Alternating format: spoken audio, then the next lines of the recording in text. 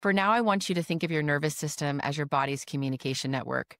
It's constantly scanning your environment and sending signals to your brain and body. Am I safe?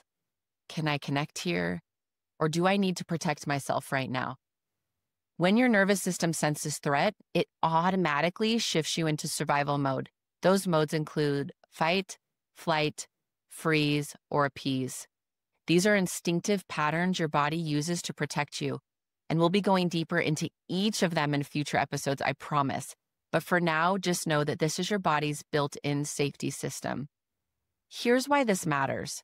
When that system activates, the emotional center of your brain, also known as the amygdala, it takes over.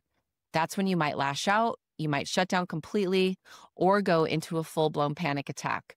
But practices like the one I'm about to share help your logical brain, your prefrontal cortex right here, stay engaged. And when that part of your brain stays online, you can not only think more clearly, but you can communicate better and actually choose how you want to respond instead of reacting on autopilot.